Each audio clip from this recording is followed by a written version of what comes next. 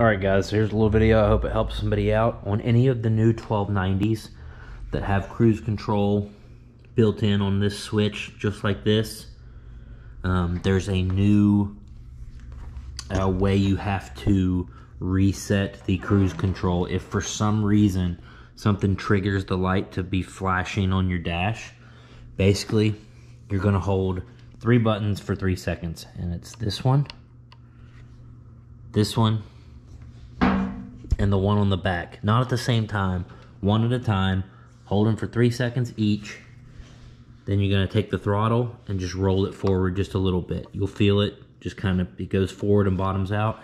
That should reset your cruise control light to stop flashing. On the other switches, there was a different uh, combination, but this is the new switch. This is the newest combination out as of posting. So like I said, three seconds, three seconds, three seconds on the back, roll the throttle forward, and that cruise control should get reset and stop flashing on your dash. Hope that helps somebody out, and uh, see you in the next one.